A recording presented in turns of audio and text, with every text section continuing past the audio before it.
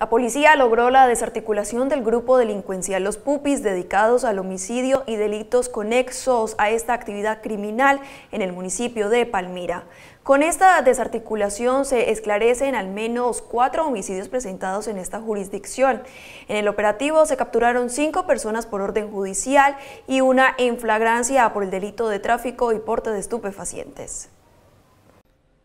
En el operativo se efectuaron seis diligencias de registro y allanamiento, dejando como resultado seis personas capturadas, cinco por orden judicial y una en fragancia. Entre los capturados se destaca la de su principal cabecilla, alias Pocaluz, quien está implicado en varias investigaciones judiciales en curso.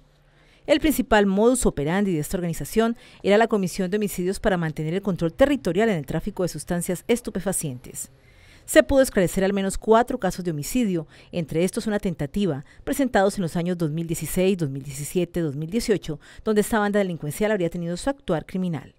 Estos seis delincuentes fueron dejados a órdenes de la autoridad competente, donde se les indicarán delitos como el tráfico local de estupefacientes y el porte ilegal de armas de fuego. Igualmente, se logran esclarecer cuatro homicidios que se habían realizado en años anteriores.